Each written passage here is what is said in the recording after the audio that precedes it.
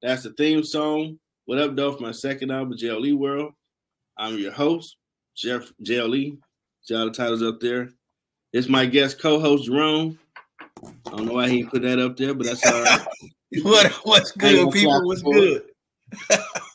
Now uh, we got guests already. Appreciate two guests already in, in the booth watching. Okay, it's all right. Yes, yes, sir. Yes, sir. So, welcome, people. Welcome. Relationship issues. We're gonna.